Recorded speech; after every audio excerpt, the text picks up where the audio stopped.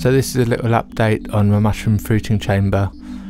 I've been building a controlled environment with control over temperature, humidity and fresh air exchange to fruit mushrooms in. Uh, still very much a work in progress. I've been tinkering away on it while having regular Zoom calls with my dad, which been, has been a cool lockdown project.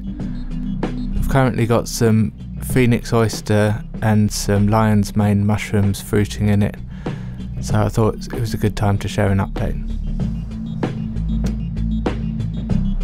So the box is a plastic box with that's 30 centimeters high, 40 centimeters wide, and 50 centimeters long.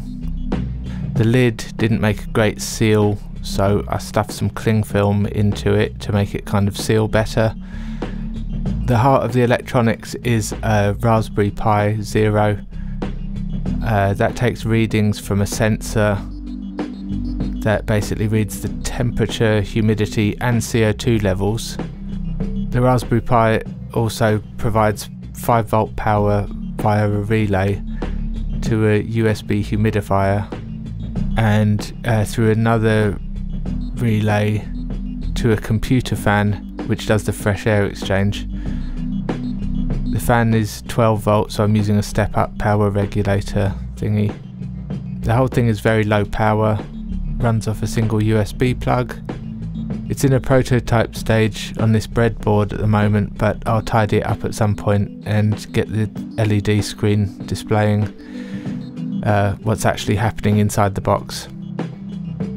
So yeah, the program's really simple. It just reads off the sensor every 60 seconds, and if the humidity is too low, which I'm currently saying is 80% relative humidity, it runs the humidifier for 5 seconds to raise the humidity level. Uh, then every 15 minutes it runs the fan for 40 seconds. Uh, there's always a bit of a balancing act it seems with these that you know you get it humid and then you extract the air and then that lowers the humidity again so it also sends the sensor readings to a service called ThingSpeak which is just a site that will ingest data and give give you simple graphs to look at, which is pretty cool. Again, the settings are a work in progress. I'm sure I'll tweak it further.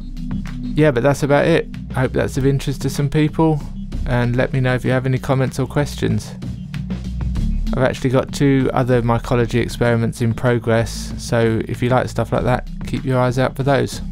Cheers.